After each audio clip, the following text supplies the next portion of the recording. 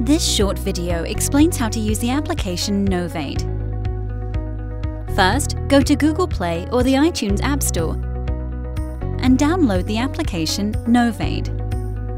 Start up the Novade application and log in with the username and password provided by your relationship manager. Read the license agreement and click on I accept.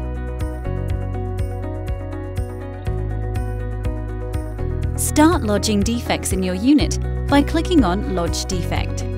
It might be helpful to be in the space where the defect is located. Select the location of the defect from the drop-down list. Then select the defect type and the description.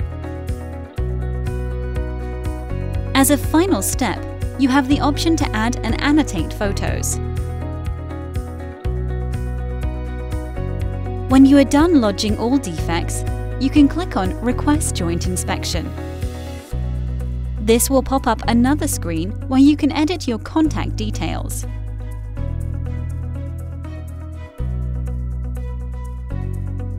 Your relationship manager will be notified that you wish to schedule a joint inspection to confirm the defects and start the rectification work.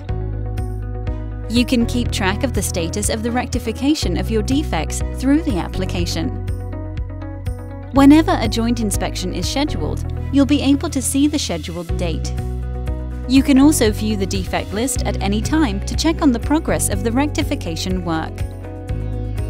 Thanks for watching this video. For more information, please visit our website at novadegroup.com.